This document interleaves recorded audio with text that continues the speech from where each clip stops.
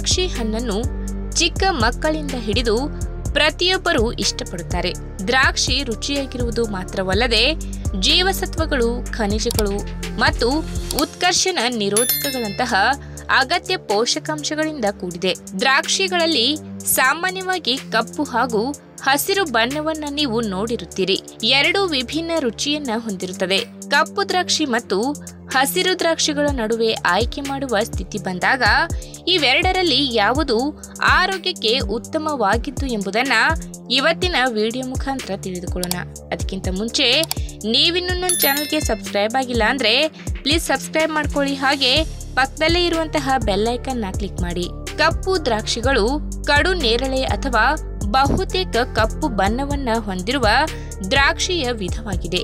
ಇವು ಬಹಳ ಸಿಹಿಯಾಗಿದ್ದು ದ್ರಾಕ್ಷಿ ರಸ ಜಾಮ್ ಮತ್ತು ವೈನ್ ತಯಾರಿಸಲು ಬಳಸಲಾಗುತ್ತದೆ.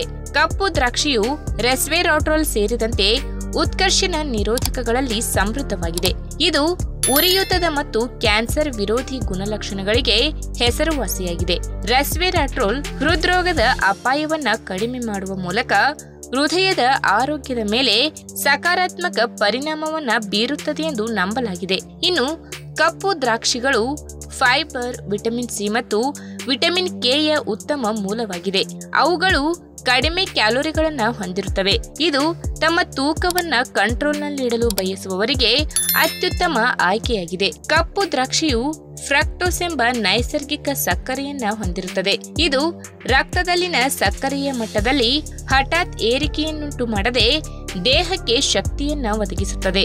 ಇನ್ನು ಹಸಿರು ದ್ರಾಕ್ಷಿಯನ್ನು ಸಾಮಾನ್ಯವಾಗಿ ವೈನ್, ದ್ರಾಕ್ಷಿ ರಸ ಮತ್ತು ವನ ದ್ರಾಕ್ಷಿಗಳನ್ನು ತಯಾರಿಸಲು ಬಳಸಲಾಗುತ್ತದೆ.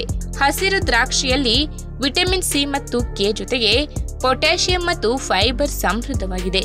ಅವು ಫ್ಲೆವನಾಯ್ಡ್ಗಳನ್ನು ಒಳಗೊಂಡಂತೆ ಉತ್ಕರ್ಷಣ ನಿರೋಧಕಗಳ ಉತ್ತಮ ಮೂಲವಾಗಿದೆ.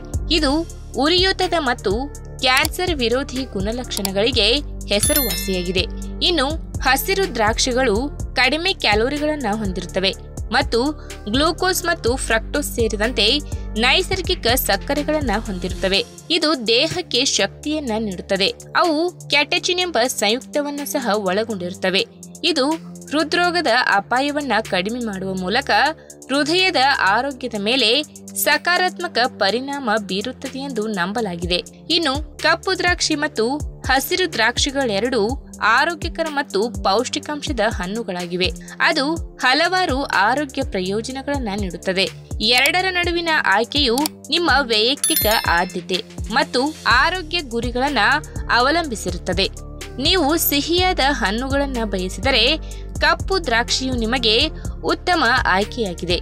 ನೀವು ಟಾರ್ಟ್ ಹಣ್ಣುಗಳನ್ನು ಬಯಸಿದರೆ ಅಥವಾ ನಿಮ್ಮ ಕ್ಯಾಲೋರಿ ಸೇವನೆಯನ್ನು ಕಂಟ್ರೋಲ್ನಲ್ಲಿಡಲು ಹಸಿರು ದ್ರಾಕ್ಷಿಗಳು ಉತ್ತಮ ಆಯ್ಕೆಯಾಗಿದೆ. ಈ ವಿಡಿಯೋ ನಿಮಗೆ ಇಷ್ಟವಾದಲ್ಲಿ ತಪ್ಪದೆ ಲೈಕ್ ಮಾಡಿ, ಶೇರ್ ಮಾಡಿ ಹಾಗೆ ನಿಮ್ಮ ಅನಿಸಿಕೆನ ಕಮೆಂಟ್ ಮೂಲಕ ತಿಳಿಸಿ.